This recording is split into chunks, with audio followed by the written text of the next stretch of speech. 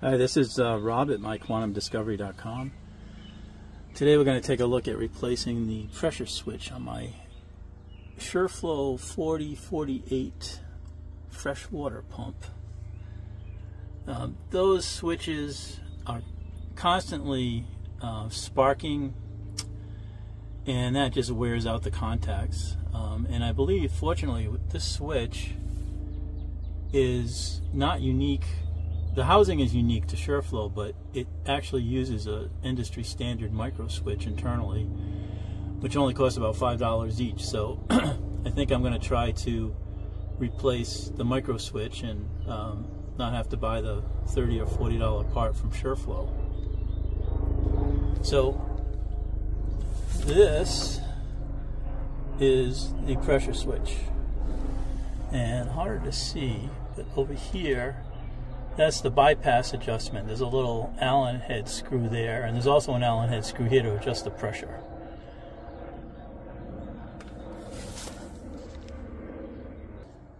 So first I'm going to test this. Right now, when I turn the pump switch on, it either doesn't work or it just comes on very sporadically and intermittently.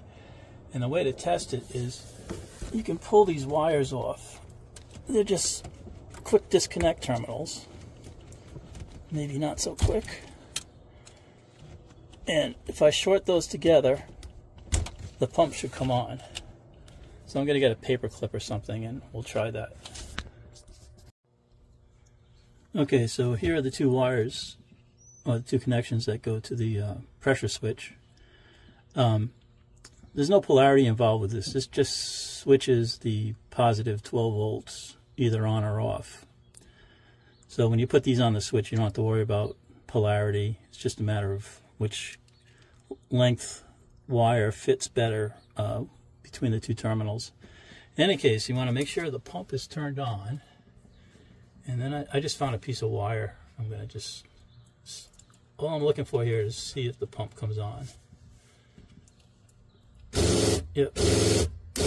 So it works fine.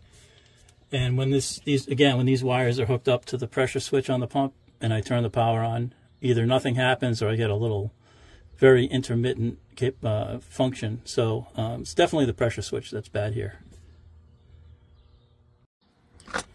So I think uh, my handy dandy Harbor Freight right angle screwdriver will probably be a lot easier to use on getting those screws out. Yeah, okay, as it started to loosen the screws, course it's going to spew some water. So make sure you have the water turned off and be ready for that. Okay so the uh, right angle screwdriver works but actually I found the stubby here to be a little easier. By the way I'm using a number one small Phillips bit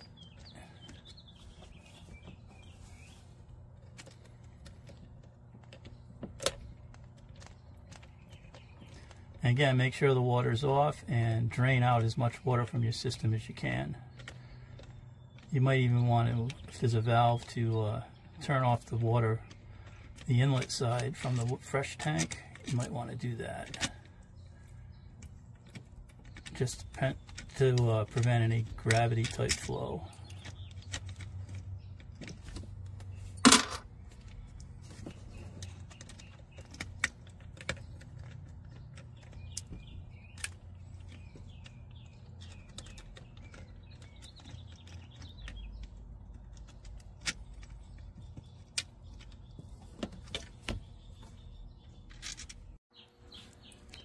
Okay, here's the, the unit that we just took off. This is the outside. You can see the adjustment there in the middle. This is the diaphragm that goes against the internals of the pump that sense the flow, the pressure. Um, you notice there's some gunk on there that we'll clean off. And here you can see, hopefully, those two contacts for the switch. Now, this comes apart. Okay, I found if I took a put a screwdriver in here and just twist it a little, I can separate the pieces. So you'll want to remember the position everything goes in. That goes like that. And here you can see this is the micro switch. So I'm going to pry that out of there and then we'll uh, hopefully replace it with another one. Okay, so again, I just kind of popped my screwdriver in this area. I was able to just pop the switch right out. And that's what it looks like. These are pretty standard, used in all kinds of applications.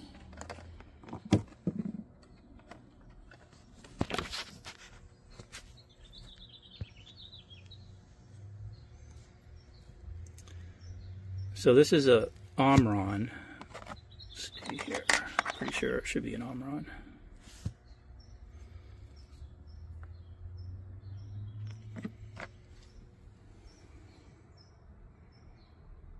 Yep.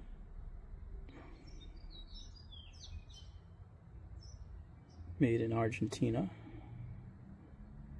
Oh, Indonesia, sorry. And it's a V15 2C as in Charlie 26K. And if you go to Omron's website, you can find out what all those bits and pieces mean.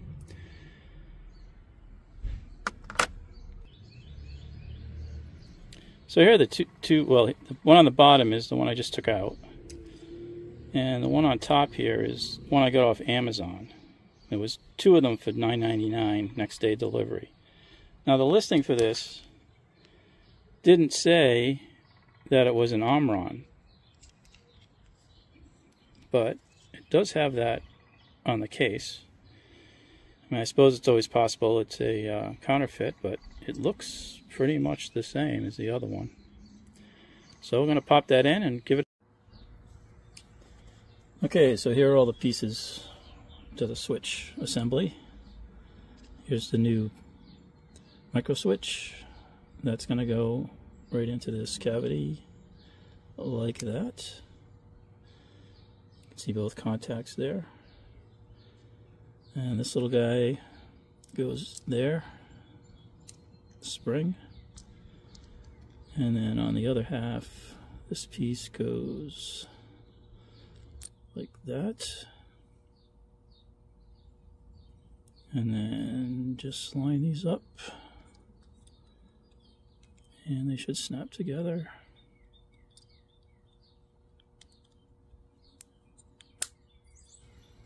And there you go. This piece goes here but it doesn't stay on there so I think it might just have to carefully position when you put it back into the pump or it might be easier to put it into the pump itself. I'll have to take a look at that. Something is not quite right because when I press this, oh, there it goes. You want to make sure you get the click.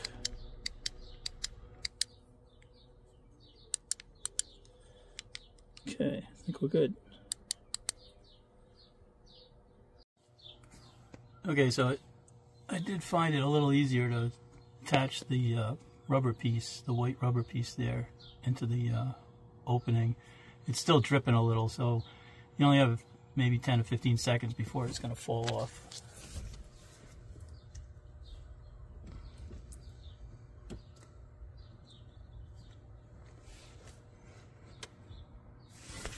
There we go. So by the time it starts to fall again, I should be able to get the assembly back in place.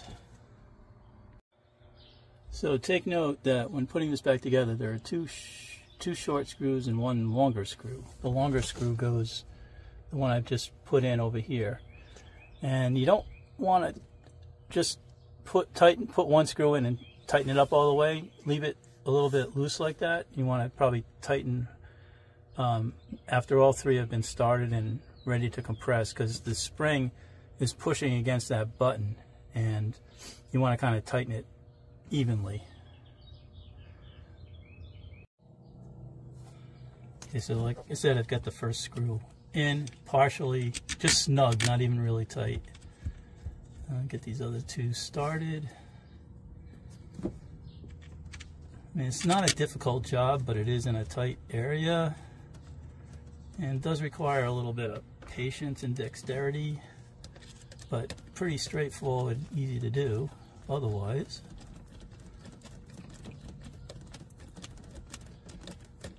I'm just going to stop there, get this other one ready, and I'll tighten all three a little at a time.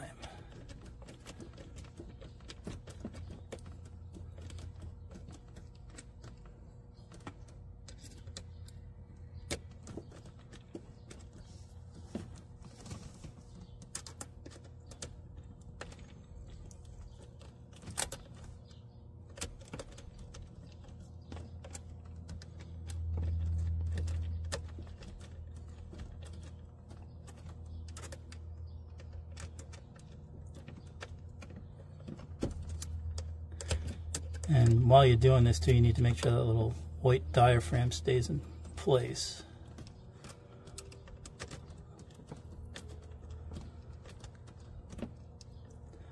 Okay, that one's tight.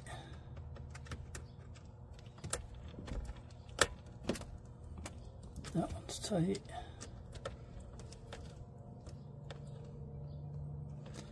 Just uh, you know, finger tight. These are screws into plastic so you don't want to overdo it. Okay. Now before I do anything else, I'm going to turn the water on and make sure it doesn't leak.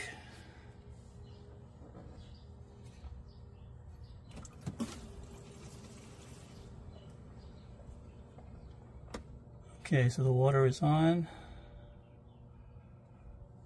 Everything seems good.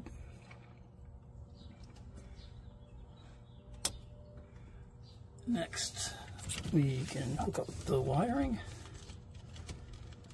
See, you gotta find that. Okay, finally get those on. It's a little tricky when you can't see what you're doing.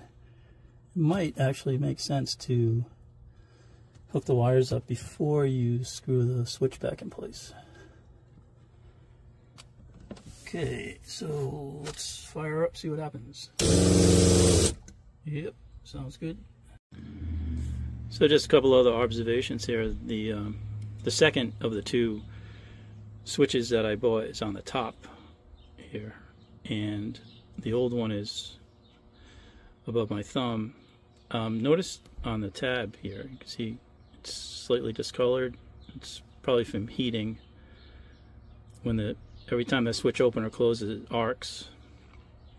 The other thing I noticed is on the new let's see, the new switch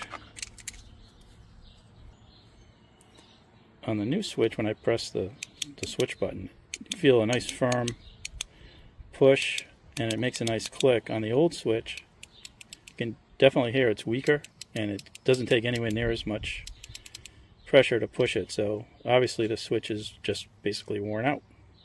Well, anyway, that does it. Um, quick, not quick, but cost-effective repair if you lose uh, the switch on your 4048 pump. I believe this is works with other Shurflo pumps, although I, but um, in any case, uh, hope this helps.